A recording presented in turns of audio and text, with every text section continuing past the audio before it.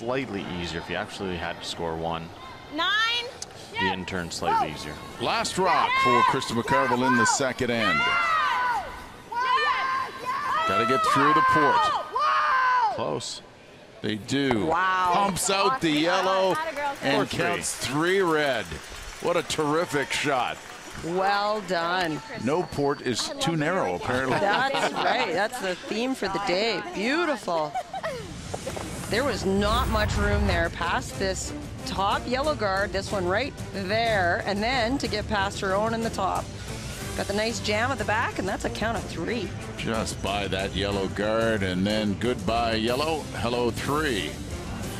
Nice uh, way to recover and blank end in the first and making it all pay off in the second with a count of three. 3 nothing McCarville leading Fleury after two.